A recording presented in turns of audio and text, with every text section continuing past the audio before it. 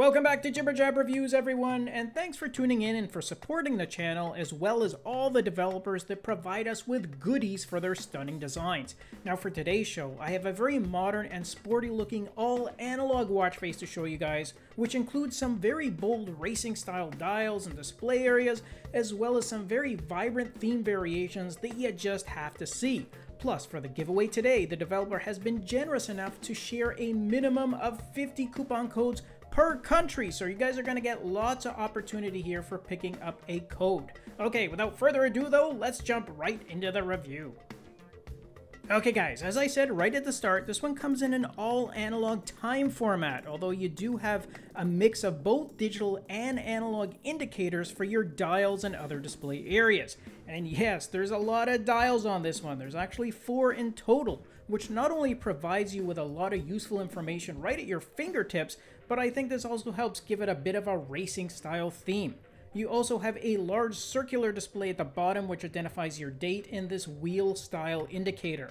Okay, so going back to those four dials, well starting over on the far left hand side in the 9 position is your battery power remaining. Just above that and to the right is your floors climbed, followed by your distance traveled next to that, and then over in the 3 position is your total steps count and goal. And if you want to really customize the look of your display, then you have two options for doing so. You have the ability to change up the colors of the intersections of those four dials, Plus, you can also change the background image of the watch face, and there's some pretty vibrant colors to select from here, which look equally nice during the day or at night.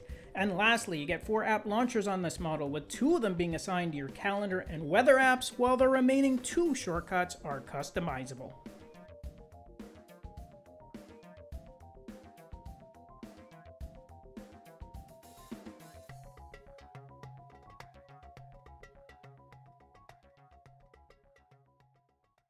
Okay guys, that's a recap of this modern, sporty looking analog design from Limitless X, and remember that we are giving away up to 50 coupon codes per country for this one, so if you want a shot at adding it to your collections for free, then make sure you click on the link to the code generator tool down below in our video description. Just remember that all codes are distributed on a first come, first time basis only.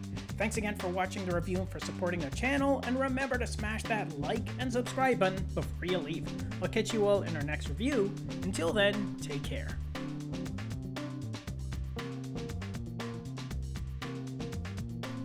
Thanks again for watching our review, and if you liked it, then show us some love with a thumbs up, subscribe to the channel, and share the video with your friends because with your support, it really helps me keep the channel going so I can continue to offer you guys discounts, giveaways, and of course, fresh content. I'll see you in the next episode. Until then, take care.